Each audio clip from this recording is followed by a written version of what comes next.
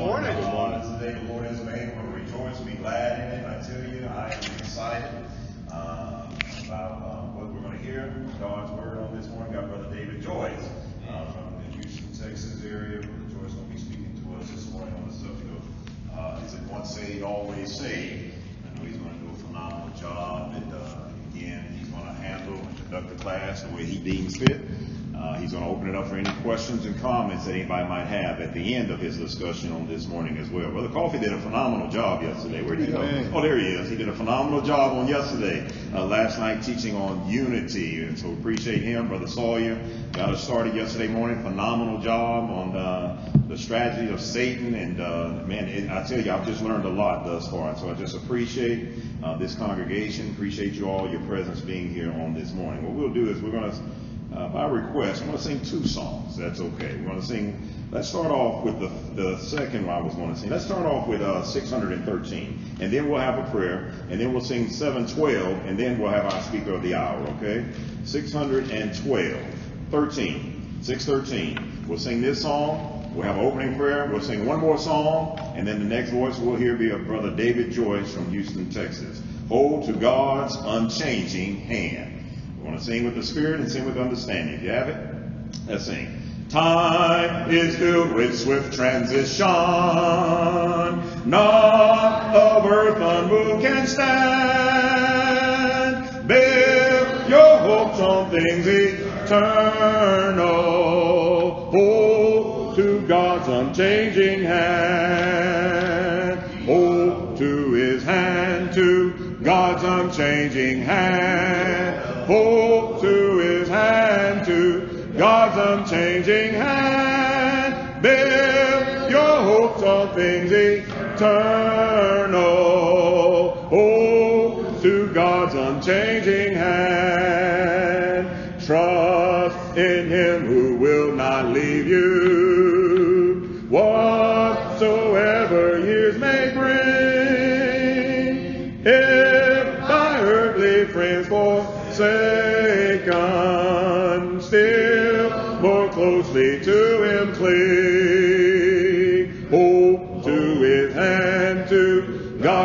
Unchanging hand. Hold to his hand, to God's unchanging hand. Build your hopes on things eternal.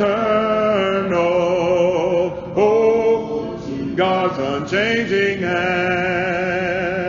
When your journey is completed, if to God you have been true, and bright the home in glory, your enraptured soul will view. Hold to his hand, to God's unchanging hand. Hold to his hand, to God's unchanging hand. Build your hopes on things eternal.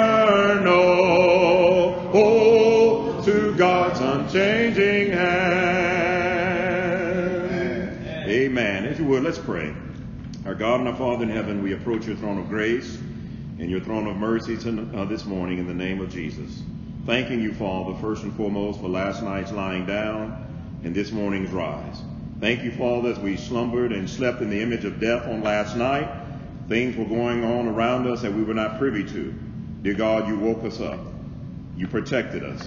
You kept us from all hurt, harm, or danger. And for that this morning, we want to say thank you.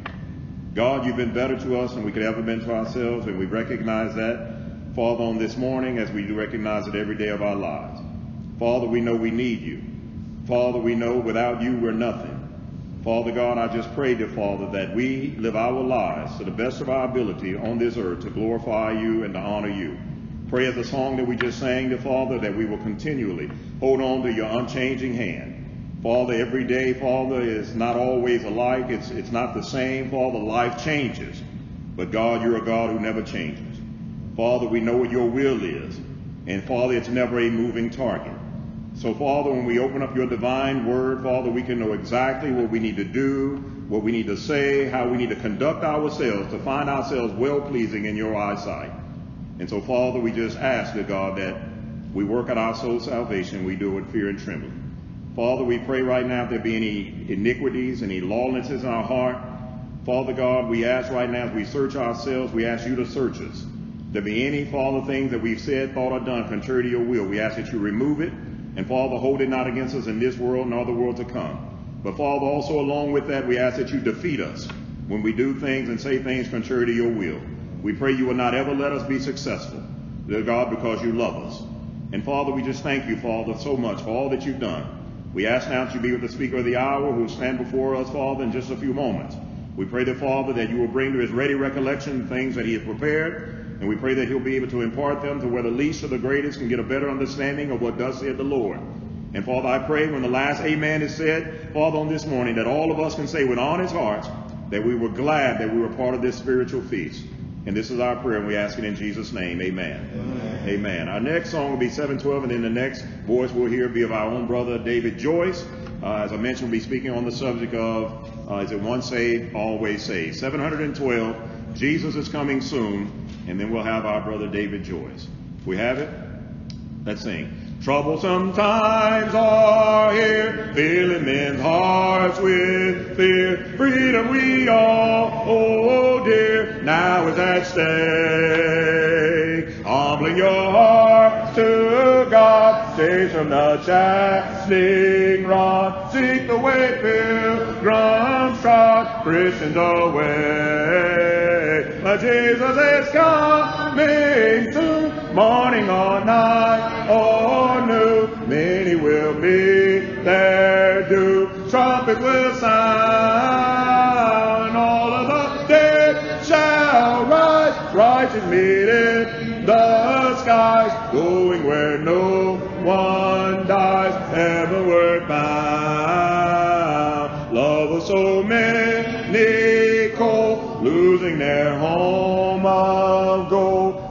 God's word is told, evils abound.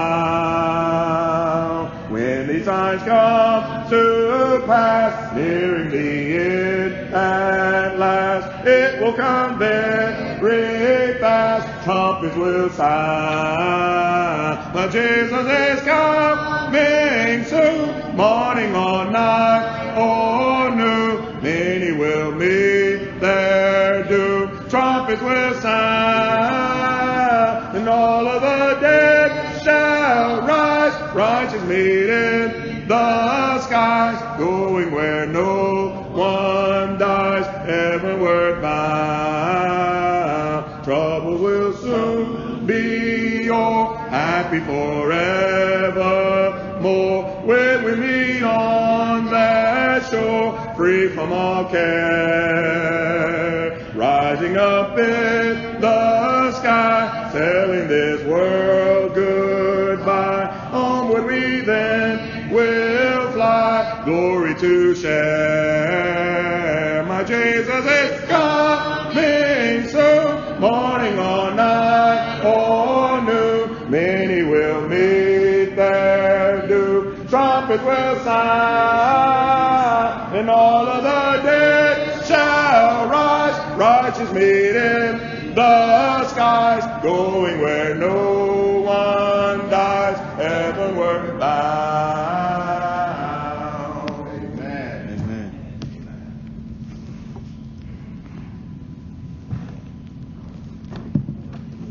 And the church of God said, Amen. Amen. Amen. Good morning. Good morning. Good morning. It's an honor to be here this morning amongst all the saints of God and all of those in the household of faith. And uh, we give God all honor, we give him all praise this morning for our being here because we know it was none other than his goodness uh, and his grace that allowed us all to be here this morning. And we are so grateful unto God, His Son, Jesus Christ, Holy Spirit, and all of you. We're so grateful also uh, to uh, uh, this congregation and uh, uh, my brother, Brother Green, uh, who helped, I understand he's the one that put this together. Is that right?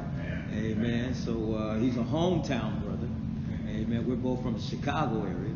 So uh, he's from the what side? From? West side. Yeah, we, that's the best side. So west side. Don't, don't let anyone tell you different. about Chicago. You know, we in our Chicago's, you know, we battle a lot from the south side and the west side. And, me and Brother Green are from the same side of town, but I was thank God to be able to meet this brother. I think maybe a year or so ago, and uh, but I am. Uh, uh, for those that don't know me, uh, I'm like uh, Brother Henry said, I'm David Joyce from the uh, Houston, Texas area. Uh, minister to the Eastgate Church of Christ in Wharton, Texas area, which is uh, about 45 minutes south of Houston, southwest, I would say, Houston, for those that wanted the geographic type idea of it. But came to obey the gospel five years ago after 45 years in denominationalism and uh, I give God all praise. And I have to have to uh, mention our brother, brother Stevenson, that's here with us this morning. Uh, it was his uh, broadcast that he does along with two other brothers, brother Javier, brother Stephen Ozan, and I always tell this testimony everywhere I go. Had it not been for that broadcast, God allowed me to hear that broadcast, I would have not obeyed the gospel. I believe until this point, Lord willing. But it's because of their broadcast and their uh, giving book, chapter, and verse, and teaching the oracles of God that I obeyed the gospel five years ago. And uh, I've been in the Lord's church since then and have a mind to live faithful unto death. Amen. Amen. So I like to give that testimony everywhere I go because we know, uh, as many of us uh, have come out of false churches and denominations and things of that nature, God always will bring the right preacher with the right message. Amen. Amen. He always will do that everyone in this earth will have a chance before they leave this earth, or Christ delay his coming, to obey the gospel, or at least hear the gospel, and uh, have a chance to obey it. Now, whether they obey it or not is another issue. But the idea is that the gospel shall be preached. As Jesus said, the gospel shall be preached, and then the end shall come, meaning that everyone will have a chance and opportunity to hear the gospel. So I am so grateful this morning to be amongst you all. Some of you have met, some of you have not met. Hopefully, I get the chance to meet uh, some of you after the session. But however it goes, uh, we come uh, for no other reason to share with you what uh, thus said the Lord. Amen. Amen. And if you allow me, I'm just going to, I know we pray, but I'm just want to go to God once again in prayer if you don't mind. Father God, we just give you praise, honor, and glory for this day. God, we thank you for, once again, for this opportunity to stand in your presence. And God, to be able to speak as you uh, will allow us to speak. We ask you now that, God, that you forgive us any sins and shortcomings, God, that you, God, will cleanse us, God, from all unrighteousness and all iniquity. Now, God, as we come, God, to stand before the people we ask you to speak, God, we hide behind the cross and let you speak in the name of Jesus. We give you the praise, honor, and glory. In Jesus' name, amen. amen. Amen. As it has been mentioned this morning, our topic of conversation is today is once saved, always saved. Or should I put it in question form? Is it once saved, always saved? And I know we've heard that term and heard that terminology uh, at some point in time in all of our lives as it pertains to salvation. Uh, as it pertains to salvation, once a person receives their salvation, is it possible for one to lose their salvation? That's kind of what we want to talk about today. That's kind of some of the things we want to uh, kind of bring to light. Is it possible? Can one lose their salvation? Is the question. So I'm kind of trying to put this in question form. Is it once saved, always saved? Now, again, um, I want to kind of break it down, uh, and I'm going to be very brief if I possibly can. But I'm going to kind of break it down in three different uh, uh, mentalities, if you will. Uh, we want to talk about getting, losing, and sustaining as pertains to salvation. Getting, we'll talk about how to get your salvation, getting salvation. We're going to talk about that. We're also going to talk about losing salvation. And we're also talk about sustaining salvation. Okay, so we're going to deal with those three different entities as it pertains to our subject today. Uh, first of all, what are we saved? What is a person saved from? Let's kind of talk about that for a minute. What are we saved from? Now, we all know that the Bible speaks that sin is the transgression of the law. So every when a person comes into the knowledge that they have sinned, if they have done wrong, if they have transgressed God's law, from that point on, we are under the penalty of death. The Bible says, Romans 6.23, for the wages of sin is death. But the gift of God is eternal life through Jesus Christ our Lord. So once we have transgressed the law of Jesus Christ, that penalty of death is on us. Now, when we say death, we mean the spiritual death. Physical death as well, but also more or less the spirit, more so, I would say, the spiritual thing. So once a person realizes that, it's me in particular, and realize that we are sinners or we were sinners, then we have to know we have to be saved, or God brought His Son for us to be saved from the wrath that is to come. So to be saved for the wrath that is to come, Jesus Christ came, died, he died, he bled, he died, he was buried, and he rose again the third day to become the sacrifice for our sin. That way, the sin, if we accept him, the sin or the penalty, I should say, of sin and death has, can be possibly taken off of us if we so uh, choose to accept Jesus Christ as our Lord and Savior. Uh, so let's talk about how do we get salvation? How does one attain salvation? We want to set the foundation on how does one get saved or become saved. We want to go to the scriptures and we're going to let the Bible speak. Uh, let's turn to, if you will, be so kind, John 3.16. We want to go to St. John chapter 3. We want to kind of start there. Uh, St. John chapter 3 and verse 16. Very familiar passage of scripture, but we want to shed uh, a little bit more light because we've heard it time and time again uh, throughout our lives.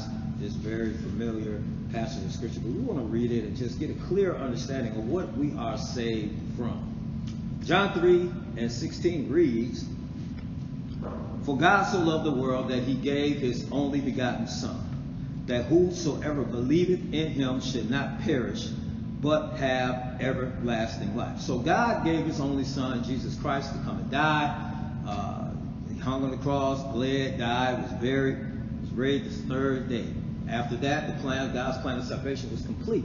Now it's available to anyone that wants to receive him. As we say, as the Bible says, whoever shall believe in him shall not perish, but not have everlasting life. It's not just him that believe, not just to believe on him that he exists, but not to believe also his words, his commandments, his requisites for salvation. I think that sometimes the uh, the misconception is all we have to do is believe. Well, James, of course, uh, refutes that because he says the devils believe and tremble. Is that correct? Amen. So therefore, the devils believe, but we know the devil will not obey. We know the devil will not repent, and we know the devil will not follow Christ. So therefore, to believe is one thing. And James has said it, and he's very clear when he says that. He says, you have done well when you believe. He said, but also, he gives a contrast. Also, the devils believe and tremble. So when we, when we look at the text here, he said, whoever shall believe in him shall not perish. That means believe, not believe in what Jesus said. Believe in what Jesus commanded. And that's going to tie into our next uh, scripture, Mark 16. Let's go to Mark 16. Excuse me, Mark 16, verse 15 and 16. We're talking about getting salvation. We kind of want to stay with the narrative. How do we attain salvation? How do we get salvation? In order to get salvation, we can't talk about losing it unless we know how to get it. Amen. So, Mark 16, once again, very familiar passage of scripture. Mark 16, and we're going to go to verse 15 we're going to start verse 15. And he said unto him, talking about Jesus, go, unto ye go ye into all the world and preach the gospel to every creature.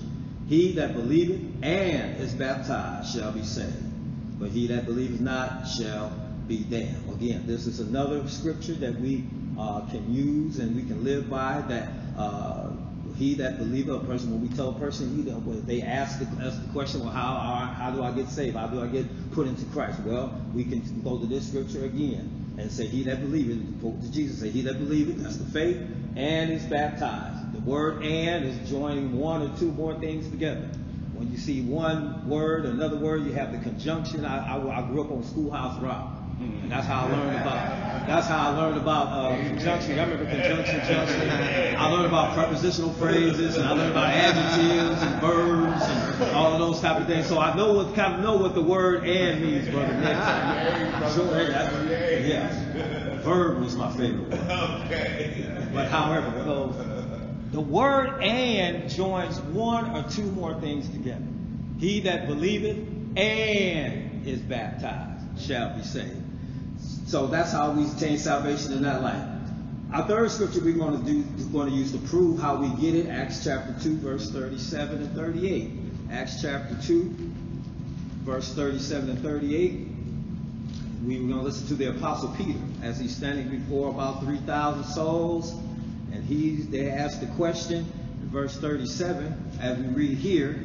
Says, Now when they heard this, they were pricked in their heart, meaning they were convicted And says, unto Peter and to the rest of the apostles, men and brethren, what shall we do? So there's no, there was something that had to be done besides believing in order to bring them into Christ or to save them. Peter gives them the answer in verse 38. Then Peter said unto them, Repent and be baptized. There's that word again. And be baptized, every one of you, in the name of Jesus Christ, which means simply means on the authority of Jesus Christ for the remission of sins, and ye shall receive the gift of the Holy Ghost. So we can use these three. There are very, there are more that we can use, but uh, these three, well, it, it tells us how one gets the salvation, how we get salvation from Christ. Now, we're going to get in kind of to the meat of our, our, our, our teaching and our thought for today about losing salvation. A lot of people, when I was in a denominational church, as I stayed for 45 years, I was taught that you can never lose your salvation. Once you're in Christ and once uh, you accept Jesus Christ as your Savior, as it was presented to me at that time, uh, it was taught to me, brother, that you can never lose it. You know, once you're in Christ, you're always in Christ. Why would God give us a gift and then take it back? You know, I was I grew up uh, uh, when we were children. Uh, they, they taught, uh, you know, I learned a, a, little thing called Indian giving, and some of you guys might have heard. She's laughing. So a lot of people might have heard about that. Indian giver says it, it, it, relates to a fact that if I was to give you something, uh, if I chose to take it back from you, I could very well do that meaning that what I gave to you was I gave it to you, but I gave it to you on a condition or whatever the case may be. But the, idea is I can come back and get it, which means it's not exactly a gift, so it's an Indian gift. I don't know if the Indians really did it like that, but that's just kind of how I grew up on it. I just, we, we just took it and ran with it. But however it goes, the idea was, or the teaching of never losing your salvation, God wouldn't give us a gift and then take it back. Well, that's true. That is true. God gives us the gift of salvation, but let's talk about how we lose it. Well, if you was to give me a hundred dollars, Brother Green, you gave it to me. It's a gift. You never took it back. You give it to me. You don't have any intention of giving it back. But if I decide to give it back to you, you see what I'm saying? If I decide to give it, well, it's no longer a gift to me because I, I gave it back. So the idea about losing salvation, yes, it, salvation is a free gift. It is given to us. It's given to every person that chooses to receive it through the scriptures that we just read. But at the same time, it's because a person loses salvation. You can, it's very possible it can happen. It's because we give it back. Let's prove it. Let's go to an Old Testament scripture, Second Chronicles. We'll go to Second Chronicles chapter 15. Now, I want to lay a foundation with this because this is kind of the crux of our teaching today. About one, uh, is it one saved, always saved, or can one lose their salvation? Second Chronicles, chapter 15. We're going to go there in the Old Testament. Second Chronicles, chapter 15, and we're going to look at verse number 2. This is where the prophet Azariah went to King Asa, who was the third king of Judah. And uh, God allowed him to go prophesy to King Asa. We're going to start with verse 1. Let's go, let's back up to verse 1. Second Chronicles chapter 15 and verse 1. It says, And the Spirit of God came upon Azariah, the son of Oded. Verse 2 says, And he went out to meet Asa and said unto him, Hear me, Asa, and all Judah and Benjamin. The Lord is with you while ye be with him. If you seek him, he will be found of you. But if ye forsake him, he will forsake you. So what is the scriptures teaching us here? It says the Lord is with us as long as we're with him. Uh, I, I, I, listen to Brother Stevenson and, and uh, Brother, and I listen to that broadcast pretty much, you know, every week. And uh, the idea is, I hear those brothers always teach, and it helps me a lot because that's why I'm bringing it up. It says, The Lord is with you while you be with him. Now, again, the idea, when I hear Brother Stevenson and those brothers talk, they have taught me something about this scripture. While, if, if a person comes to God, if a person comes to God and they stay with God and never leave God, not saying they're not going to make any mistakes, not saying that they may fall short of some things, not saying they're going to slip up sometimes, But the idea is staying with God is the prerequisite of what we're saying. Staying with God. If I, if I have my child, my son, my kids were little, when I would hold their hand and I would walk with them, my little my little two year old or my little toddler that uh, God blessed me to have, they would even while I was holding their hand, leading them, they would stumble. You know, they hit, they stumble, they get back up, they stumble, they get back up. But the idea is they still held my hand. I never let them go. So the idea is, as long as we're following God, if you, if you be with God, He'll be with you. Even if we stumble, our hand is still held on to God. He didn't break away from me. I didn't break away from Him. Long as He held on to me, He was able to still get up and continue to walk. So therefore, the idea is, as we see here, verse 2, the Lord is with you while you be with him, and if you seek him, he will be found you. That sounds pretty good. But the contrast is, but if you forsake him, meaning if you leave him, if we leave him. Now, God never left us because Jesus promises, Lord, I am with you, Matthew 28, all the way till the end of the world. But if we forsake him, the Bible says he will forsake us. It's very clear, it's very plain in that scripture alone that tells us if we forsake God, God is going to forsake us. Amen. Second Peter chapter 2, verses 20 through 21. We're going to explain further. Second Peter chapter 2. Now this is this is one I try to help a lot of people. Because again, when I when I was in the denominational church, uh, again, they and one thing about it, this scripture has been abused a lot. It has been falsely taught. It has been wrongly divided uh, as it relates to it. I mean, I mean, we're going to explain why when we get there. Second Peter chapter two. Second Peter chapter 2, and we're going to begin at verse 20. Second Peter chapter 2, verse 20. Says, For if after they have escaped, the, the they is the people that have, the ones that have, have, have repented, have obeyed the gospel of Jesus Christ, have received Jesus Christ as their Savior, have been baptized. For if after they have escaped the pollutions of the world through the knowledge of the Lord and Savior Jesus Christ, they are again entangled therein. That means that again, they have went back. This is talking about those that have went back. They have tasted of the Lord and Savior Jesus Christ. They experienced salvation. They have their sins washed away. Then Peter says they are again entangled therein and overcome. What did he say? The latter end is worse with them than the beginning. That sounds like to me that a person may has definitely lost their salvation. That's what it sounds like to me. I'm going to read it again. They are entangled again and overcome the latter end. If they are entangled again, now when he says overcome, they're overcome with sin. They overcome with the things they went back. They overcome again with the world. They overcome with transgressions again. They're overcome with that. Meaning, if they overcome with that and they die, that, that's that that's the that's the that's kind of the, the end result. When you're overcome by something, that that something has taken you over. When you're overcome with it. Okay? So the idea is Peter is teaching us they, they were overcome by the sin that they went back into. He says what? The latter end is worse with them than the beginning. And then in verse 21, he's going to tell us why. For it had been better for them not to have known the way. Did we see that? It had been better for them to not know the way of righteousness than after they have known it to turn from the holy commandment delivered unto them. Once again, that is further proof that it's very possible for me and anybody else that obey the gospel. If I obey the gospel of Jesus Christ and decide to go back in the world, stop back sinning, stop back fornicating, stop back drinking, stop back getting high, and get back into that lifestyle. And I say if I do it and did it and I repented, I would still be saved because I turned from it. I just spoke of that a little bit earlier. But if I was to get back out there and do those things, my brother, and went back out there and then been overcome and dying, and I obeyed the gospel. I've obeyed the gospel of Jesus Christ. I've obeyed the gospel, but I went back into sin. I went back to get entangled with those things that I've been delivered from. If we talk about uh, we, uh, 1 Corinthians chapter 6, verse 9, we can use that as a reference as well. All those things that we have been uh, washed from. But if we're washed from those things, but turn, it's almost like something my father used to say. He used an analogy of a pig. Okay?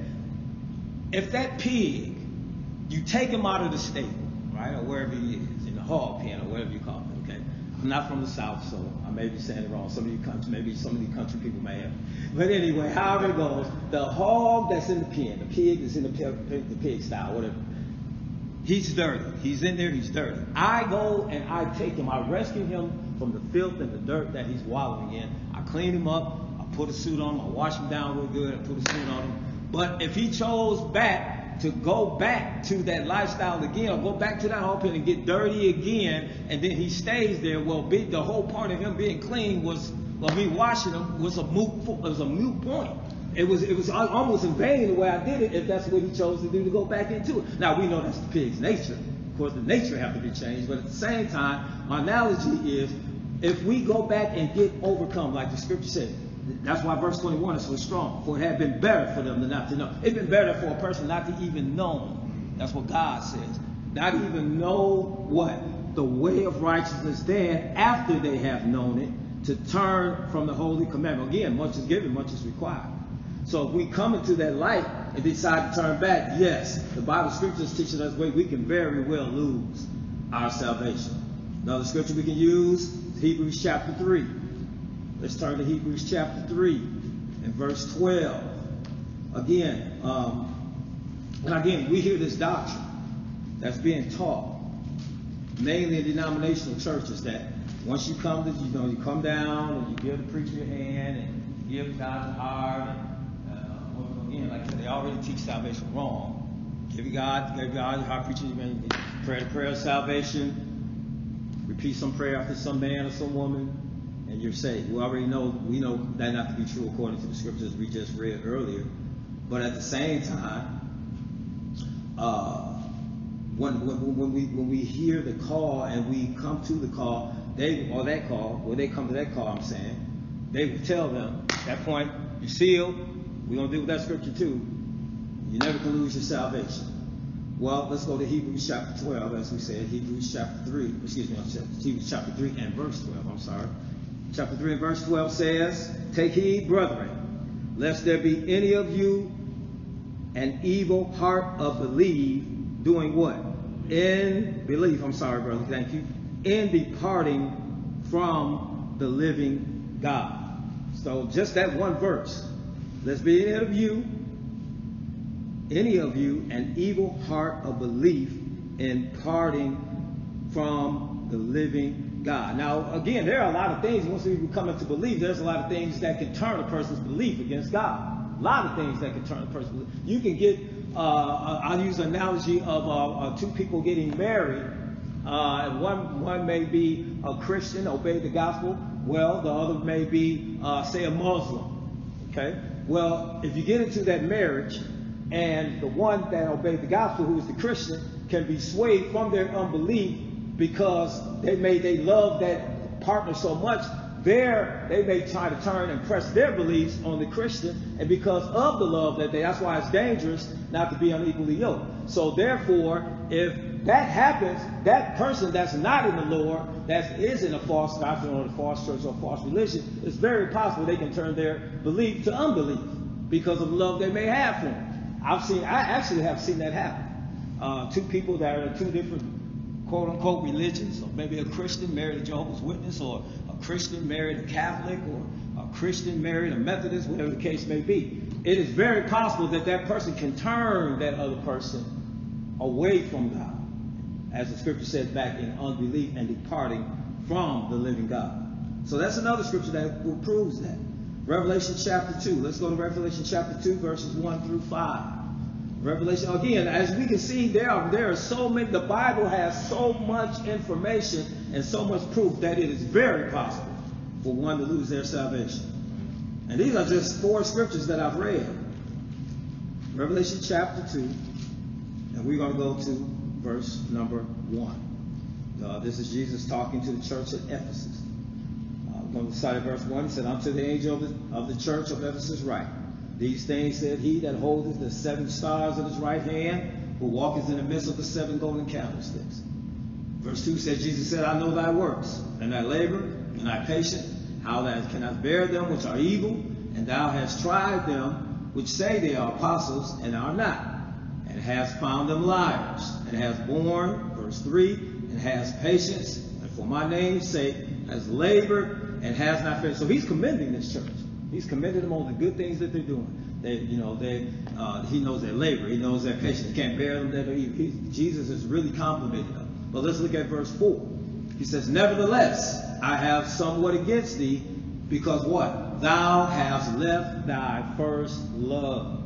I think we just spoke of that about leaving. Said you left it. In this case, their first love is Christ, because in this context, as we look, thou hast left thy first love. But remember, verse 5, therefore wilt thou have fallen. Now he's giving them, that's what the goodness of God. Now he's giving uh, these church space to get it right. He says, remember, from there they have fallen and repent and do the first works. Now, He's, that's the one thing. That's the goodness of God. He always will give us a chance. Even those that may have turned away, He's still going to give them a chance to come back.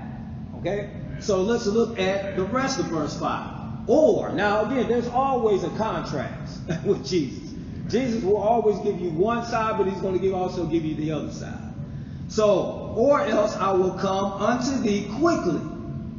And what will he do? I and will remove thy candlestick out of his place, except thou repent. That scripture alone tells me right there that, that, that you, you can very lose your place with Jesus. Right there. He said, or else.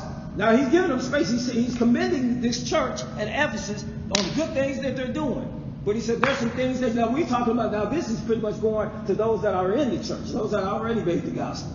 He's saying to them, repent, do the first works, or I will come unto thee quickly, and I will remove. There's that word. I will remove. Remove means to take away. Simply, thou candlestick out, thy candlestick out of his place, except thou repent. Now, if there is any any if there is any question that this is true. Now, Jesus is saying this. this is our Lord and Savior saying this. Because it's bold here in red. Amen? Amen? So, Jesus is saying, Amen. if you don't get it right, or if you fall away, he said, you left your first love. You left. He said, return. He's giving us space. Isn't God good that He gives us He gives us time and space to repent? He loves us that much.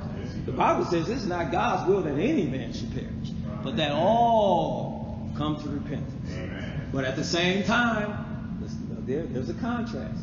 If we don't do that, it's very, it's very clear that we will be lost. Amen. Last scripture, and, and we're talking about losing still, John 15, St. John 15, verse 6. We'll go back to St. John. John 15 and verse 6. Again, it is very possible. Uh, we're proving that by scripture. It is very possible that one can lose their salvation in Christ. John 15, we're going to look at verse 6. Jesus said, If a man abideth not in me, he is cast forth as a branch and is withered. And men gather them, cast them into the fire, and they are burned. So again, further proof. We not when we don't abide, abide in Christ, he says, if a man abideth not in me. Uh, let's look at verse 5. Let's back up verse 5 again. There's another contrast. I am the vine, ye are the branches. He that abideth in me, and I in him, the same bring forth much fruit. But without me, you can do nothing. Okay? Verse 6 again. Let's look at the contrast again. If, you, uh, if a man not abideth not in me, he is cast forth as a branch and is withered. And men gather them and cast them in the fire, and they are burned. So again, very possible for one to lose their salvation if they don't abide in Christ, if we don't stay keyed in Christ. Not saying again we're not going to make any mistakes, make any shortcomings, but the idea is to abide in Him, stay Amen. with Him, remain with Him. Amen. Amen. Uh, that's the requisite. Amen. Now, in saying about getting, and then saying about losing. Well, once we get our salvation, we don't want to worry about losing it. Amen. We don't want to losing. He that endure to the end shall save, shall be saved. So let's talk about sustaining. Our last, uh, our, last mindset, sustaining our salvation. How do one, how does we, us that are members of the Lord's church, those that have obeyed the gospel of the Lord Jesus Christ, how do we sustain our salvation? Well, we know we can get it now. We know it's very possible, according to the scriptures now, that we can lose it. Well, in saying those two things, how do we sustain Amen. Matthew chapter 24. We're going to turn there. Matthew chapter 24 verses 12 and 13. Matthew chapter 24, verses 12 and 13. Jesus speaks. Looking at verse 12, it says, And because iniquity shall abound, the love of many shall wax cold. Verse 13, But he that endureth until the end, the same shall be saved. So Jesus is telling us, let's we endure. We endure all the way to the end. Don't give up. Don't fall. Don't don't give. Don't give up. Don't quit. Endure until the end. Yes, we're gonna go through some things. We're gonna endure trials, temptations, all of those things. But he said, He that you gotta endure all that. He said, if you endure all of those things, he said, if you get to the end, you shall be saved. So that's one way we sustain it. We have to endure. Amen. We have to go through. Amen. We have to keep going. We have to keep marching. We have to keep obeying. We have to keep trusting. All those things. We have to keep praying. Amen. We have to keep uh, edifying one another. That's why I thank God for these brothers. Like brother, brother Green called me. I sometimes I was like, man, brother Green called me again, just like talking to me about something. But brother Green, he's one. If I ever was to go back and thinking I was going to go back to be go back into the world, he this brother right here would not let me. he calls me almost every day. Amen. Brother Joyce, I just want to talk to you. I say, yeah, yeah, I know. And we're on the phone for three hours. But I thank God for brothers like that. But that's part of it, amen. Amen. We are our brother's keeper. Amen. We, we, we, that's what we are to do. We are to keep our brothers. We, you know, we are to edify one another. That's what the Bible teaches us to do, to edify. That's the beauty of sustaining. That's the beauty. That's a good. That's a good example of sustaining salvation. Because a lot of people, we get into our situations where we feel alone, we feel by ourselves, we feel that man, this this journey gets hard, it, it gets rough. Am I talking to anybody today? It gets hard, it gets rough. But thank God we have brothers and sisters in Christ. And what we ought to do that with our fellow brother, just to call him and say, hey, I was just thinking about you today. Matter of fact, this scripture brought me to your mind. Or my your me to your mind. Oh well, your mind to me. yeah, y'all know what I'm saying. Yeah, yeah. Brought them to my mind. Amen. Brought you to my mind, right? Is that what I'm saying? Okay. So the idea, the idea is that part of our enduring is being able for us to encourage each other. Amen. John chapter 8, verse 31. We talk about sustaining now. John chapter 8 and verse 31. These are scriptures we can definitely always refer to. Uh, just, just to kind of just keep reminding and keep renewing our minds to our walk with Christ and why we should stay with Christ and why it's important for us to stay with Christ. John chapter 8, verse 31. Then Jesus said unto the Jews which believed on him, If ye continue in my word, then ye are my disciples indeed. Key word, continue. Verse 32, And ye shall know the truth, and the truth shall make you free. So we look at verse 31, Jesus said, If you continue. So that's how we sustain. We have to continue. We can't just read one day or just live for him one day and then another day we just, you know, we shun Jesus. No, we have to continue in his word. Continue means to constantly move forward, constantly keep going. If we continue in the word. He said, then you are my disciples indeed. You are my disciples if you continue. Amen. 1 Corinthians chapter 15, verse, verses 57 58. 1 Corinthians chapter 15, verses 57 58. We have another example. Amen.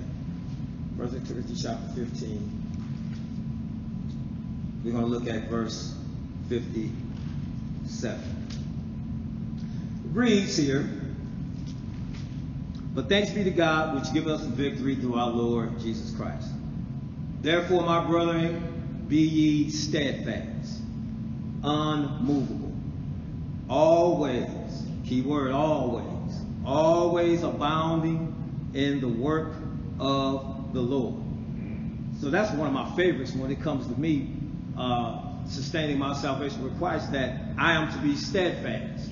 I'm, I'm, not supposed to ever give up. I got to stand. Amen. The Bible teaches us to stand the book of Ephesians. Put on the armor of God that you may be able to stand. So we're, it's encouraging us to be steadfast not to be unmoved. Don't let things move you. So many saints of God let things, let the cares of this world move them. See, that, that can happen too. The devil, see, the devil is very cunning. You know that? The devil is very skillful. He's very cunning. He knows those things and those buttons that can be pushed that may cause us to be unmovable and cause things to move us in this life. But the Bible is teaching us, be um, he said, be unmovable. Don't let the devil move you. How do we do that? Stay in the Word, constantly pray, stay in the Scriptures. Amen. Constantly leaning on God to be unmovable. Again, always abounding, always abounding in the work of the Lord. Why? For as much as you know that your labor is not in vain. And that's, that's the encouraging part. No matter what we go through, if we sustain with Jesus, our labor is not going to be in vain. When we get to the end, we can stand before God justified, knowing that we, we, remain steadfast, we remain unmovable, we were always abounding Amen. In the work of the Lord. Amen. Second Peter chapter 1, verse 10. We're almost done. Second Peter chapter 1 and verse 10. Amen. This is, these are uh, scriptures, again, that's proving that if we sustain our walk with God, then we will be saved. Second Peter chapter 1, verse 10. Looking at verse 10, it says, Wherefore the rather, brother, Give diligence to make your calling and election sure. For if you do these things, ye shall never fall. So, what is Peter teaching us? He's teaching us that uh, we're making our calling and election sure. Again, just what, almost what we just read in the previous uh, scripture. He said, For you do these things, you shall never fall. If we remain steadfast in those things that Peter is talking about, we shall never fall. Make our calling sure. Make it sure. Stand on it. Amen. Make it sure. For if you do it, we won't fall. But it takes sustaining in that so we won't fall. Amen. It takes doing those things. Our last scripture again, we're going to go back to the book of Revelation. Revelation chapter 2, verse 10. Amen. Revelation chapter 2, verse 10. And also, you can hold that and also get Revelation chapter 3, verses 4 and 5. So we're going to stay in the book of Revelation. these scriptures here, Revelation chapter 2, verse 10, again, very familiar, says, For none of these things which thou shalt suffer, Revelation 2, chapter 10, or excuse me, chapter 2, verse 10, fear none of, none of those things which thou shalt suffer. Behold, the devil shall cast some of you into prison, that ye may be tried, ye shall have tribulation ten days. But, this is what he says, Be thou faithful unto death and I will give thee a crown of life. Again, Jesus is teaching us to stand, be faithful, keep going, don't give up. Amen. Make yourself, make your calling sure. Revelation chapter, let's skip over verse 3. Excuse me, chapter 3, verses 4 and 5. Revelation chapter 3, verses 4 and 5. Thou hast been, thou hast a few names, even in Sardis, which have not uh, defiled their garments, and they shall walk with me in white for they are worthy. He that overcometh, which again, overcome. You have to overcome in his life. He that overcometh, the same shall be clothed. See, look at look at look at the reward that we're gonna get. Look at the contrast. The same shall be clothed in white in raiment. Sounds pretty good to me. Amen. And I will not blot out his name out of the book of life. But what is Jesus going to do if we keep going? If we remain faithful? He says, but I will confess his name before my Father and before his angels. Amen. Amen. That sounds like pretty good news. Amen. Amen. If we hold on, like the, like the older saints used to say, just hold on. If we hold on to God's unchanging hand, like the song that Brother Stevenson, amen, just sung, let us in. Hold on to God's unchanging hand. Never give up. Remain steadfast. Amen. amen. Unmovable. Always abounding in the work of the Lord. Amen. Then uh, our salvation, we will sustain that. And then at the end, again, like I said earlier, we stand before God justified. We can stand before Him in confidence, Amen. knowing that we endured all the way into the end. Amen? Amen. Amen. Now, one thing before we close, there's been some misconceptions about the never losing. There's some, and and and, the, and when I get to this part, preachers have taught probably the same scriptures that we're teaching now, but it's misconceptions with that. The Bible says we are to rightly divide the word of truth. So these scriptures that we're going to go through now have been wrongly divided to make a person think that they can never lose. First one we're going to talk about is John chapter 10. Now, when I studied this last night, I was like, wow, God, this is remarkable. John chapter 10 and verse 27. Now, this is a misconception. We're going to talk about the misconception now of once saved, always saved. All right? John chapter 10. We're going to look at verse 27. John chapter 10, verse 27 reads. Okay? Reads, My sheep hear my voice, and I know them, and they follow me. And I will give them eternal life, and they shall never perish, neither shall any pluck them out of my hand. Now that has been taught that the part that when Jesus said, Never shall any man pluck them out of my hand, meaning this has been taught wrong because they're saying, well, okay, nobody can pluck them out of it. You can never lose your salvation because nobody can pluck you out of Jesus' hand. Nobody can do that. Nobody can do that. But let's look at verse 27. The, the, the thing about studying and rightly dividing scripture, you can't take one scripture and create a doctrine. We cannot take one scripture. That's what false teachers do. They take one scripture, just like Romans 10 and 9, for example, create a whole entire doctrine and take the scripture completely out of its context. So the, the, scripture that's been taken out of context as pertains to never lose salvation is verse 28. Read it again. And I give them eternal life, and they shall never perish, neither shall anybody. See right there, it says, can nobody pluck you out of Jesus' hand. You'll be saved always. But wait a minute. Did you read verse 27? Verse 20 says my sheep hear my voice. My sheep, those that belong to me, they hear me. They hear my voice, and I know them, and they follow me. So therefore, what it's saying is, if we follow Christ, if we now again, he said they know me and they follow me. Well, what's going to happen if we don't follow? We're going to lose. We're, to, we're not going to be saved. So if you look at verse 28, that's one of the misconceptions that's being taught in a wrong way that when Jesus said nobody, neither any man plucked them out of my hand, well, that's only because we hear his voice and we follow.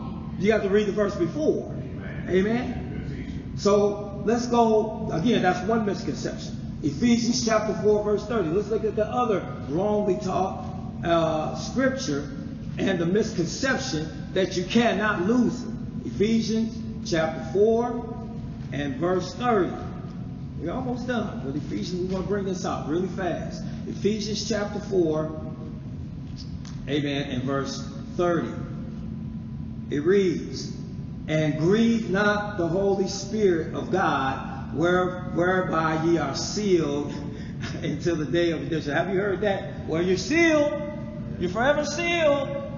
You can never, you can never lose your salvation because you're sealed in Christ. No matter what you do, did you hear what I just said? No matter what you do, you can even sing. I heard a preacher yesterday when I was watching on YouTube. He taught, I, I, and this is nowhere in the scripture, but he taught that uh, once you're saved, listen to me close. Once you're saved, we already read the scripture, but I just want to share this with you. Once you're saved, uh, and you happen to, uh, Brother Nick, go back into some sin. Okay? Like we talked about it. You happen to go back into sin. Well, even if you go back into sin and die in that sin, it was taught that, first of all, God is not going to uh, condemn you to hell because of your seal until the day of redemption. Misconception. Number two is that only thing that you are going to lose if you die in that state is your reward. That's That's what I say. and I was like, you know, some things you don't even have to go to the scripture to find out. Some things, like what we were talking about, some things is just common sense. We know, again, the Bible said the soul that sinneth shall surely die. So if if if, if we're sealed, how can you? I mean, it's, it, to me, it's just I can't even. It's, it's confusing to me to know for a person to try to tell me that if I go back into sin, well, I already know what the scripture said. I go back into sin, I die in sin, I, I'm still going to be saved. Only thing I'm going to lose is my reward with Christ. Really, very ridiculous. Again, very, very, very misconceiting and misleading. Okay? So when we hear that, Again, we got to refute, but we have to rightly divide it. So how do we rightly divide it? The Bible said, and grieve not the Holy. See, that's just right there. They click flunked out because you didn't even read the first line. And grieve not the Holy Spirit. So when we sin and we do things wrong, we are grieving the Spirit of God. The Spirit of God won't leave the believer unless, of course, let's return. But the Spirit of God is not going. We can live if the Spirit of God leave us. But the thing is, the Bible instructs us not to grieve it. So therefore, if I was to sin, I'm grieving the Holy Spirit, and also, uh, which is the, the same Holy Spirit is sealing me.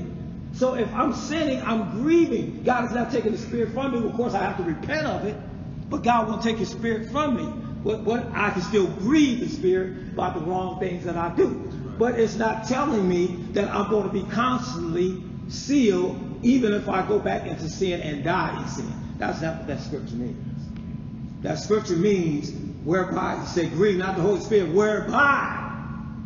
See, that's the word that they're missing. Whereby ye are sealed until the day of uh, redemption. So it's teaching us, let's not sin or not fall into sin or constantly sin or willingly sin to grieve the Holy Spirit because the Holy Spirit is sealing us until that day comes. If we remain in Christ. Amen.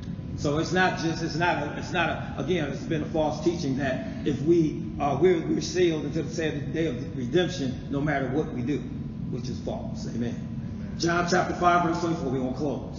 John chapter 5 verse 24 another miscon- misconception of uh, you can all you can never lose it.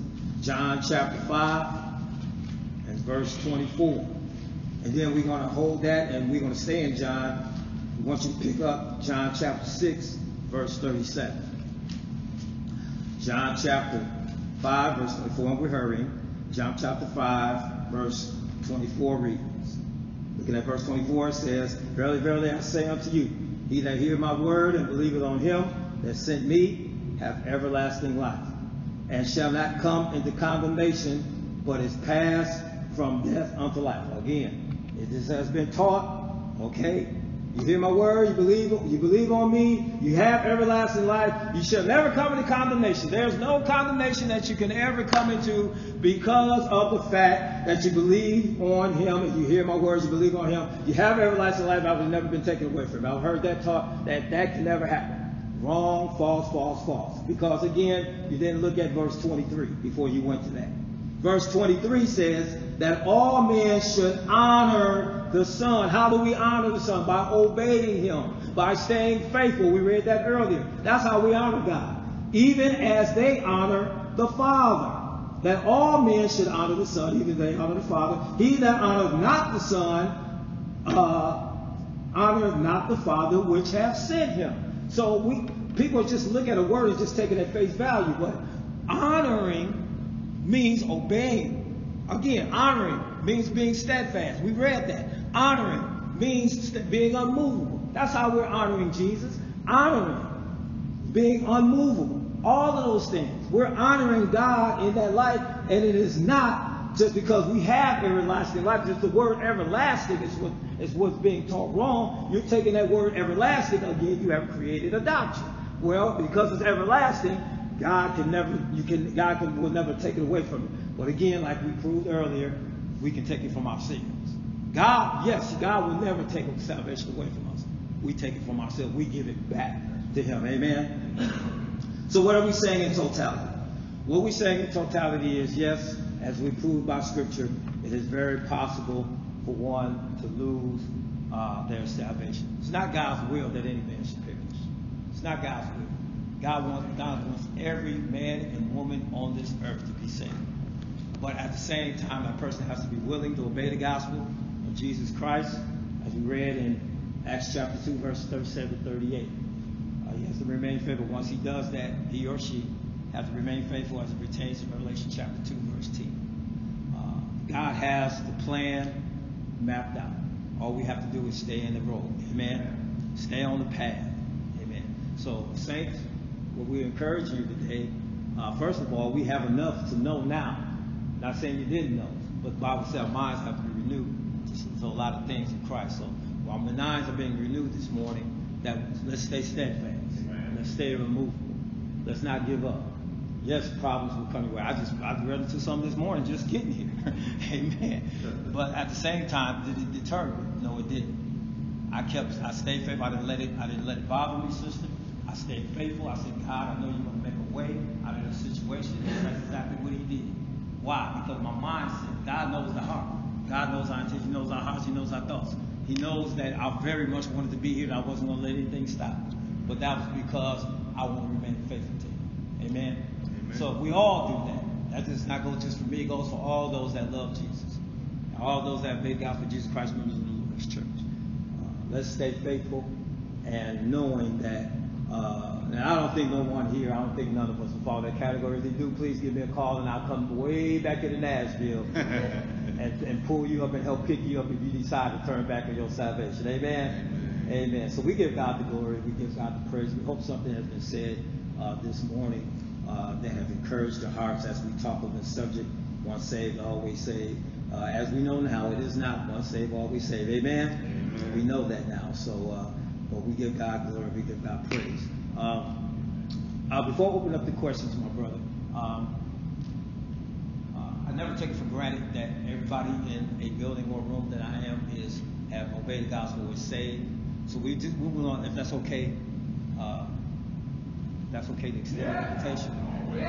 okay. So uh, we want to extend an invitation to someone here that, uh, if you don't know, uh, we all here are going to die. The Bible says it's appointed on the man that died in the judgment. It's all appointed to every man to die. If if you're here today, you don't know where you're going, if you have doubts about where you're going when you die, well, Jesus said, "I come that you may have life, and that you may have more life, more abundant."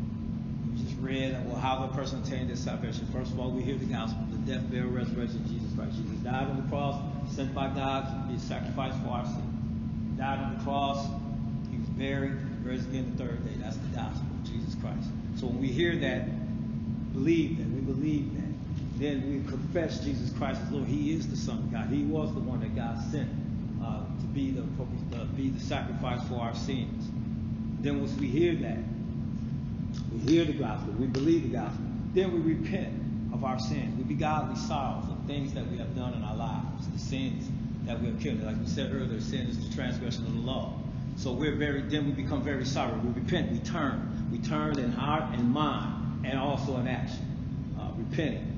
Once we repent, then we are baptized, as we read in Acts chapter 2, verse 37, and also Matthew chapter 19, verses 20, Acts chapter 2, verses 38. That we're washed when we repent. Baptism saves us. Baptism, once we're baptized, uh, God, we do the physical act, God does the spiritual act. When we are baptized, we're baptized to get our sins washed away. Our sins are washed away. We go down in water, come up, God does the spiritual act of cutting away the sin. Brings us in contact with the blood of Jesus that our sins are taken away. Then from that point, then we live faithful, as we just talked about. We live faithful to Jesus Christ. So if there's anyone here today that have not obeyed Jesus Christ and I want to be saved, I want to, I want to repent, I want to turn from the life. There's nothing that God will not forgive you of. God's hand is not too short to forgive any sin. It doesn't matter what we've done, no matter how we did it. God can is able to save us today. So if there's anyone here to give their life to Jesus Christ, amen, we extend the opportunity this morning, at this time. What can wash away my sins? Nothing but the blood of Jesus. What can make me whole again? Nothing but the blood of Jesus.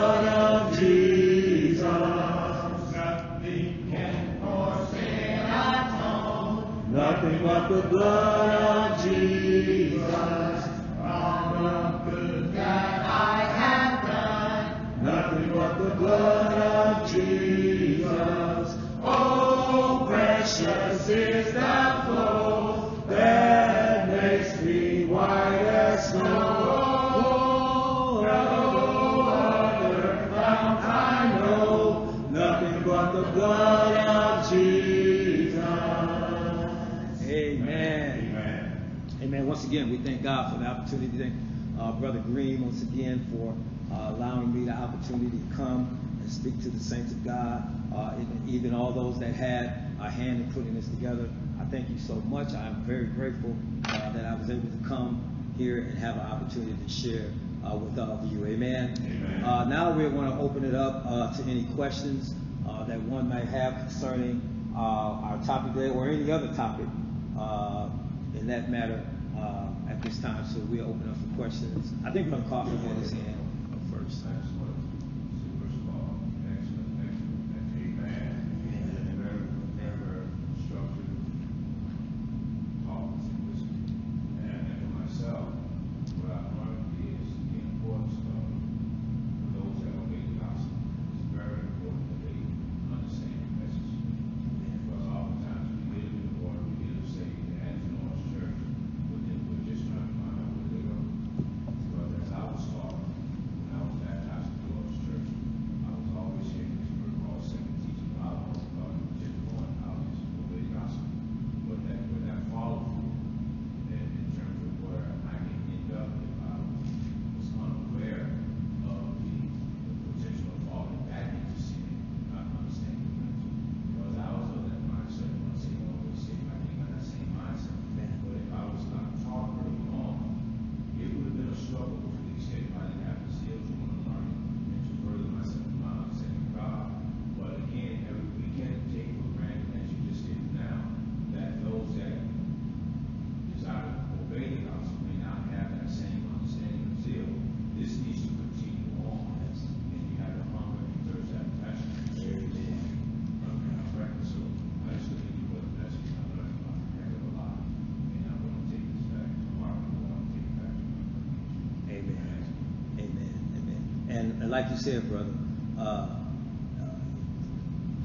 you know, there there are a lot of us, a lot of those, I would say, that have, like you said, obeyed the gospel, but they feel that's all you need to do. That's enough.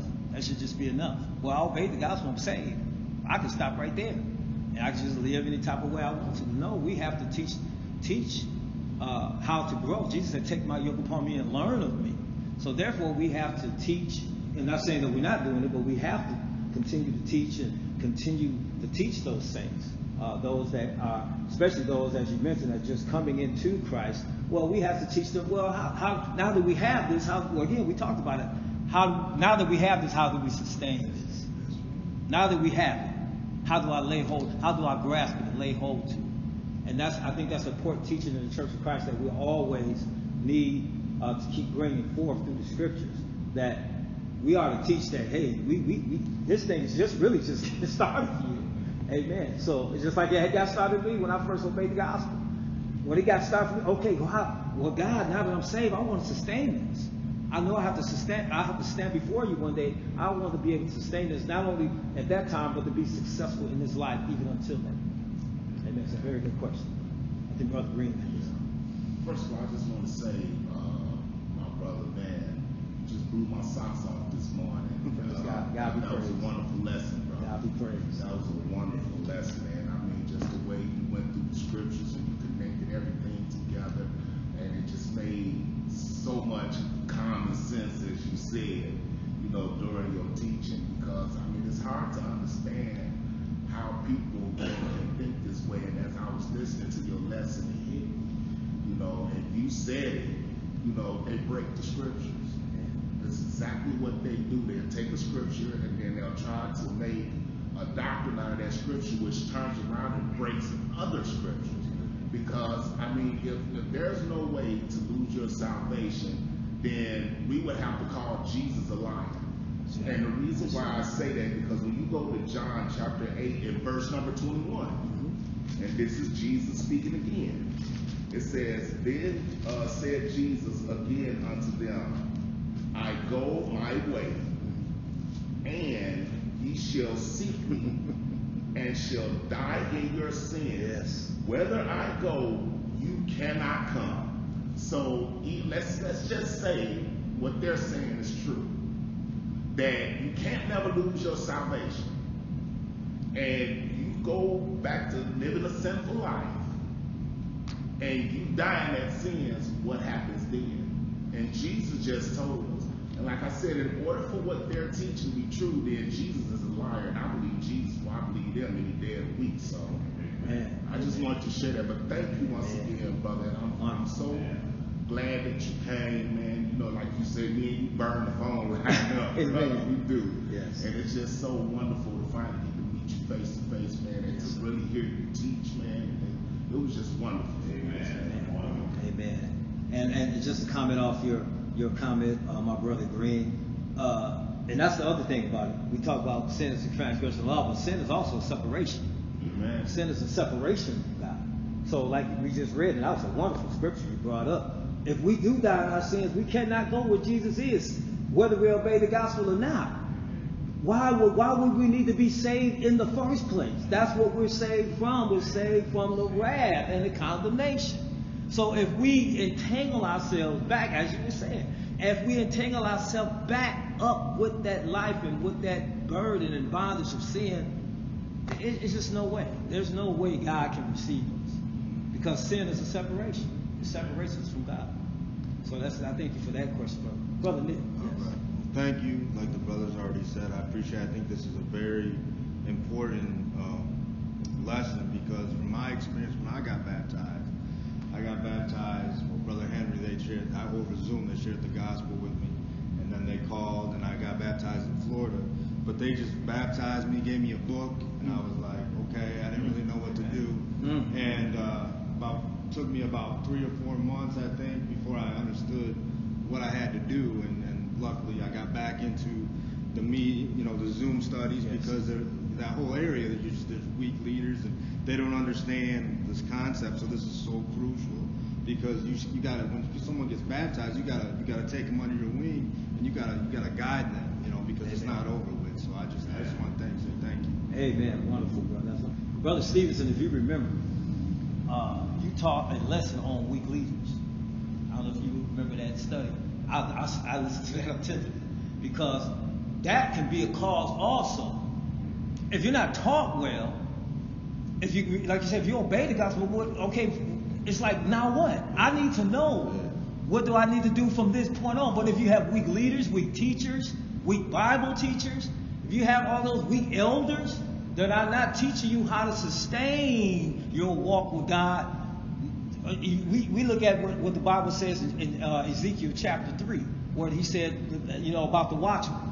And if we if we fail to uh, fail to warn the wicked, not that we're wicked, but if we just fail to give the warning in general, warning means we have to teach. We have to we have to let a person know. We have to give information. So therefore, if I'm under a system, or if I'm in a congregation, I would say, brother Nick, as you said, if I'm in a congregation where I have weak leaders that are not teaching me how to sustain according to the word of God. Well, of course, I'm not going to know my people perish for lack of knowledge.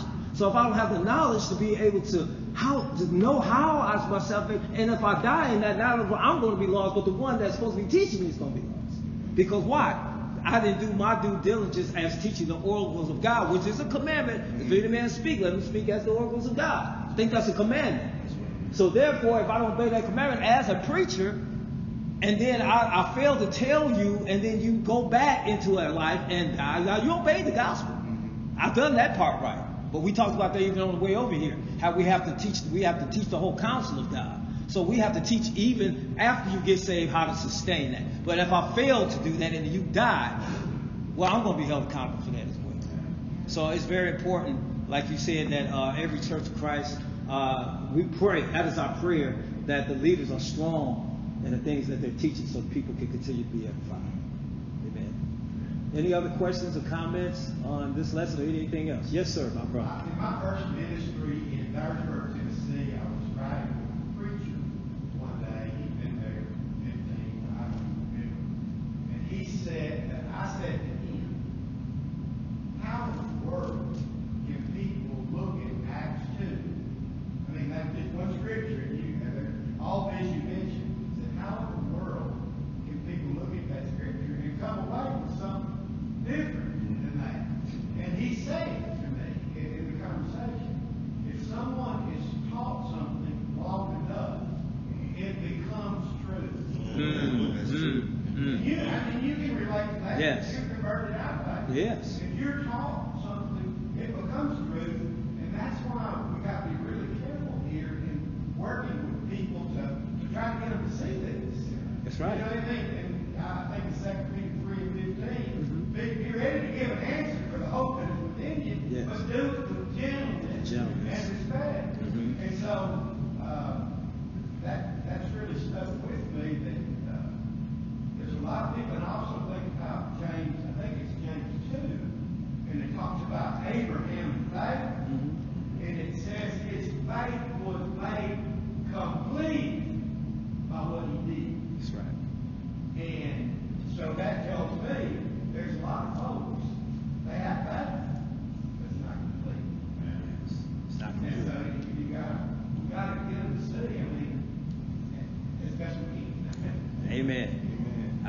Isn't that why the Bible teaches us that we have to work out our soul salvation with fear and? We have to work that out.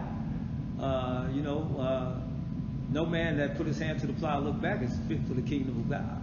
So we have to continue to work that faith, like you said. We have to continue to work, uh, you know, work our salvation out. Why would he not even tell us to do that? It doesn't, you know, if we don't work, well, you said work out your own salvation. Well, we have to work that out. Uh, matter of fact, I'm reminded of a scripture. I want to read it.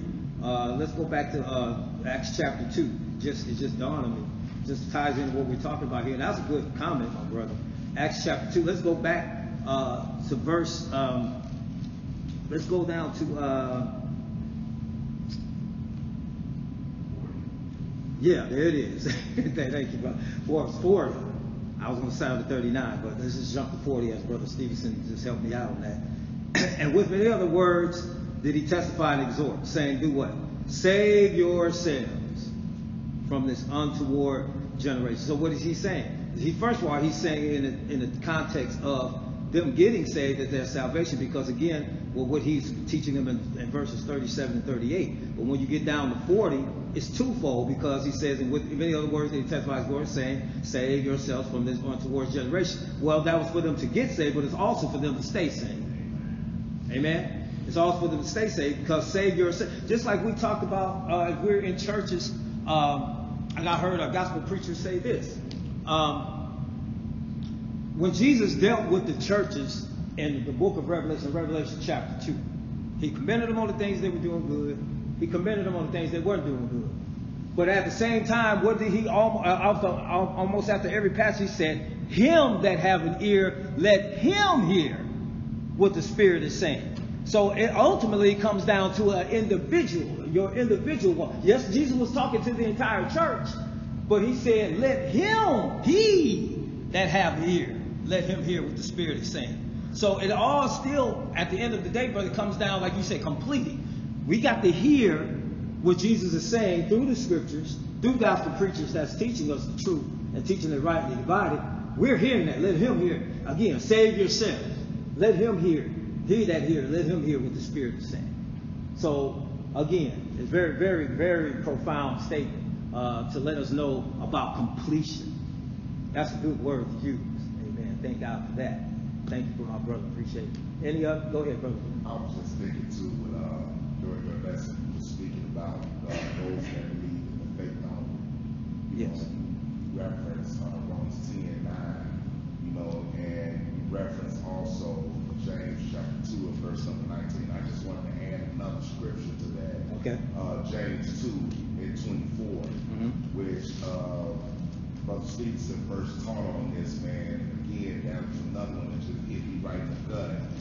You know, but in James chapter 2 verse number uh, 24, it says, matter of fact, let me go to 23. Okay. It says, and the scriptures was fulfilled which said, Abraham believed God, and it was imputed unto him for righteousness. And he was called the friend of God. And then he says in 24, see then how that by works a man is justified, and not by faith only. Right. And again, as, as Brother Stevenson taught us so great, you know, he said it's the only time you see in the Bible the word faith only, but it's always preceded by not. So we see it's not by faith only, which goes back to what uh, you were teaching in Acts chapter 2 and verse number 37. Mm-hmm. You know, it said, men and brother, what shall we do? It didn't say, what shall we believe? it said, what shall we do? So again, brother, a wonderful lesson, and I'm just you know, as you're going, I'm steady picking up the scriptures, steady popping in my head from the stuff that you Amen. Amen. Amen. Thank God. Uh, any other questions or comments? Yes, ma'am. Yes, sir.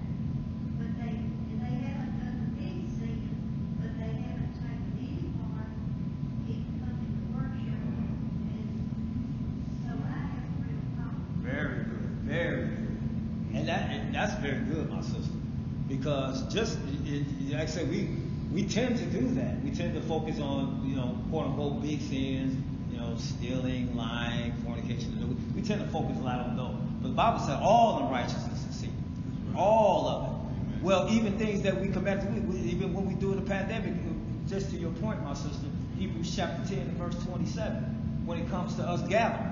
Well, churches that were locking their doors, do they do they not do we not know they were committing sin by doing that? Because it was a commandment. It's commanded us to gather under any such. It didn't, Bible just didn't say. Uh, I'm just using what your point for an example. The Bible just not say gather only gather when everything is going good. We ought to gather at all times. Period. He says, not forsake the assembly, the assembling of yourselves together." So, to your point, very good point, my sister. Just for us not even coming to worship is sinful and we don't repent of that, then hell will be our home. Amen. Do we understand? Amen. So that's that is a very, very that's very true. Amen. you see, I'm glad you brought that in. That's an angle I missed on that So thank you, my sister. That, that's that's very, very true. Amen. That's wonderful right there. Amen. Anyone else? Any other questions? 'Cause we got time. I like Brother Stevenson. I'm, I'm here till at least tomorrow. so we got time. Any other any other uh, questions? It don't even have to be about what we're talking about. It could be about anything. Amen. And if not. I like that one. That was that's that's that was real powerful right there. That brought that, that to my mind. And, and like I said, uh, once saved, always saved. You know, even in the church. Well, let's deal with that for a minute. Even in the church. Now we talk about out of the church if a person leaves and, and leaves the church, but what about right here in the church of Christ? What about in the church? Well, false doctrines that teaching tithing, sounding like instruments, you know, those types of things. Uh, you know, teaching false doctrine on marriage, remarriage, and divorce. When anything that's taught wrong, if it's not taught according to the scriptures, the Bible says it's not a faith of sin. That's the Bible's clear on that. So we even if we, if we teach the person they can't get married, uh, if they if they've been divorced for reasons other than fornication, they got they can't get married, they got to live single for rest. We know that's false doctrine. And if that's being taught, guess what that's doing? That's placing people in bondage. It's placing, it's, it's making people feel cursed. It's making them feel irritated, especially those uh, that don't have the gift, as we always talk. If a person don't have the gift when it comes to marriage, and they happen to get divorced, and we and we come and tell them you cannot get married, do you know first of all what they, it's going to cause that person to sin? It's going to cause, like the Bible says, Matthew chapter 5, it's going to cause that person to commit fornication, to sin. And if they, again they die in that sin, they're going to go to hell. And then we're going to be held accountable for that because we taught what? False doctrine. Amen? So, so the idea is, even in the church, if we teaching things that are wrong, if we making, if we, if our examples that we live is wrong, same thing. Go ahead, brother Steve. Uh, good, good teaching. I just want to reiterate everybody. Yes, sir. Great teaching. Uh, just, just, just keep in mind that the Bible is written to Christians. I think a lot of times we're not careful. We read the Bible thinking that things that Paul is talking about is to the world. I mean, but every scripture you read tonight, uh, this morning, was to Christians. Book of Revelation to Christians. Ephesians is to Christians. Read by the Holy Spirit is talking to Christians. And so, to my sister's point, Hebrews chapter 10 is to Christians. If you forsake the assembling of yourselves together, you are willfully sinning. That's what Amen. Scripture calls it. Amen. Scripture Amen. calls it. That's not talking to the world. Amen. So there should be any congregation that after an individual is baptized, say, well, they got baptized and at least they became a Christian. Because baptism is just the starting. Amen. You gotta understand that. That's right. It is the beginning point of your Christianity. So you can't stay a baby. You got to grow. You got to develop. And that means coming to church and living. Amen. Amen. Amen. Amen. Preacher. That- it- you know, it, it can't get any more profound than that. I mean, uh, like like you said, well, that's a good uh, analogy that Brother Stevenson gave. A baby has to grow. Baby's not going to stay a year all its life. It's going to continue to grow. It has to learn how to walk. It has to learn how to eat. It has to learn how to talk. It has to learn how to do things. Tie the shoes. Well, if they've never grown, and if they're not even taught to grow, you the parent. The parent has to teach that child to grow. Well, again, as babes in Christ, we have to grow. Like you said, we like he like Brother Stevenson said. Well, we fail to teach those things, and like I said, the only way we're going to know. Bible said, "How can they hear without the preacher?" Romans chapter ten. Okay, so if if they're not coming to worship, if they're not, and I'm not talking about, you know, like I said, we well, you know, you hear, we already know that a person that says this is not in the Lord's church. If they say, "I can hear the preacher at home," well, that's not what the scripture said. The Bible said, "Don't forsake the gathering of yourselves together. Don't forsake that." Whether two or three are gathered together, you know. So therefore, if we don't obey that day, and that when God specifically tells us something, sister and brother Stevenson, as you said, it is a commandment. And we, we so much look at uh, you know commandments like the Ten Commandments or just specific commandments when we know it's a commandment. But anything Jesus tells us to do, He said, "How can you call me Lord, Lord, and I keep my commandment? How can you even call me that?" So therefore, if anything that God specifically tells us we need to be doing is a commandment, and when we forsake those commandments and we fail to obey it, we are in error with God, and we need to repent of that. Amen. I think Brother Coffee look like you about to look like you want to say something. Go ahead, go ahead, go ahead, go ahead. Go ahead, it's open. Well, actually, I was, as what you see, was, was mentioned one of my favorite scriptures, although it, it, it speaks in terms of the husband and wife, in Ephesians chapter five. Okay. And it speaks about the washing of the word. Mhm. And that's what the word should do for all of us, although it speaks in the context of, of, of believing the word of God to Amen. the spouse. But as I'm reading, and it also, as I'm reading, it also does use it as a conviction. And I, the word is pointing out my sin here in verse twenty-six. And it says, I have one version of, uh, so the King James, uh, That he may sanctify and cleanse it with the washing of the water by the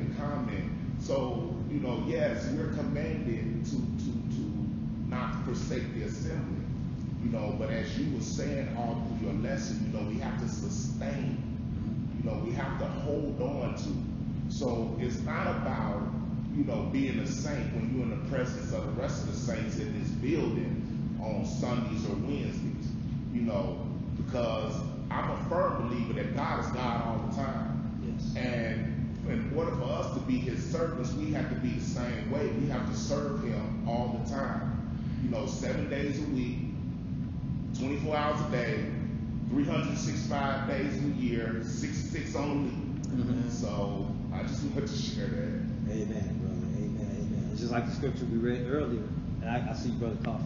Just as we read earlier, be steadfast, unmovable, always. Word always, whether I'm here in the building, whether I'm at my job, I'm at home, I'm in Walmart, I'm walking down the street, I'm always abounding. Like you said, that word always means all the time, not just in the presence of the saints or in the church building where we gather. It's everywhere. It's all every everywhere, every time, all time, all like we say back in Chicago, all day, every day. Mhm. Amen. So uh, to your point, very good point, brother. We are to always, no matter where we are, because the eyes of the Lord are in every place Amen. beholding the evil and the good. So um, It just behooves us. We know God is watching. Not just because God is watching, because we want to do it. Let's not just do it because God, well, God watch me, I better live right. No. We want to have that already within ourselves. God, I love you that much. And I want to follow you that much. I'm going to obey you at all costs and at any cost. Amen.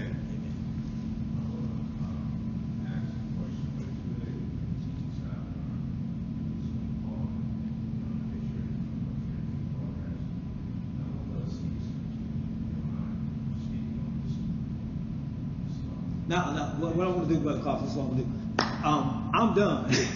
I thank God for for this opportunity once again. I am going to, no, I'm going to talk, I'm, just about ready to toss it back to our, our, our uh, preacher in charge, Brother Brother uh, Stevenson, and uh, I'll let him take it from there, amen. But uh, I, I just thank God for, once again, this opportunity to be able to, to share with you in the Word of God today. And uh, I'm, I'll just look forward to enjoy the rest of the day and uh, to hearing these other good brothers uh, speak on today on what God has given them. Amen. So we just thank God for that. I turn uh, back over now to Brother Stevenson. Amen. Amen. Amen.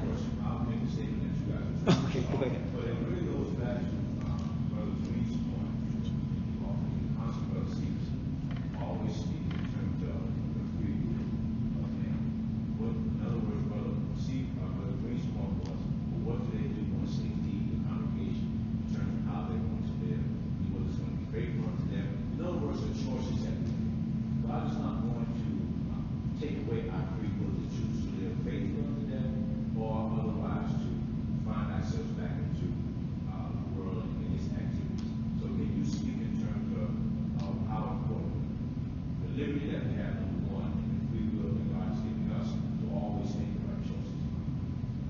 Well, we- we're created in the image of God. I mean, that's that's that's what makes us different than animals uh, that God created. So that Genesis 1:26, we were created in His image, meaning that uh, we have volition. Uh, we can we have free will. We can choose to do right or we can choose to do wrong. Um, but God wants us to serve Him uh, because we we choose to serve Him. This is again why He put the tree of the knowledge of good and evil in the garden because had that had that been there, then he would have been making us serve him. And so what makes the difference is God put the tree there to give man a choice whether or not to want to serve him, obey him, uh, because we are created in his in, in his image. And so free will uh, is just it's just our DNA. You know, I can walk away from the truth right now if I so chose to. It's my choice. Uh, and God doesn't want us to serve him because feels he's making us serve him. That's what Satan, you know, we want to we ought to serve him because we love him. God wants to serve because because we love him. We want to do right because we know he loves us. Okay, anybody have anything else? Anything else? Yes, brother. We got a water issue down in the kitchen. Oh, really? Okay. hands. Okay, my brother. Before we ate, Yeah. to wash your. Okay. Stop by the restroom, up here. Up here. Okay, brother. We got a water heater. Okay, okay, my brother. Yeah. Okay, so we'll watch up here. I'm saying you got some barbecue down there. Somebody Well, said. I heard you and. Well, I- he, he's, he's the Russian judge. You can do it, That's right? a barbecue. All right. Better be good, man. Yeah. I get him right. I don't know. I'll go easy on There you it. go. All right. Okay, brothers and sisters. Uh, and Brother Joyce, wonderful class, brother. Really was a great class. Anybody have anything else they want to add? Any other Bible questions? Okay, tonight we got Brother Sanders. Oh, yeah. Sound doctrine. We listen to this brother come on tonight. Know this brother's going to do us some good, a good job in teaching God's word on sound doctrine. Uh, be God's will tonight at 6 o'clock. So we're looking forward to coming back. Uh, open it up for questions. Anybody have any Brother Saul, you mind giving us our closing prayer? Absolutely. I'm going to go ahead and pray for the food too. Oh, Okay? Okay, yes, sir. God, thank you so much for a beautiful day. Uh, thank you for this wonderful opportunity to study from your word. We're thankful uh, to get this lesson. Yes. And, uh, we know there's a lot of people confused about this. And uh, we're thankful that your word is simple. Yes. It's a common sense book. And, uh, but be with us as we try to talk to people and engage them. Yes. Uh, that we be gentle. Yes. Uh, but stand on the word. Amen. And uh, we just uh, thankful for your word. Yes. God, would you bless the food that we're about to eat uh, to our bodies? Uh, help us to keep busy in your service. In Jesus' name, amen. Amen. Amen. Amen.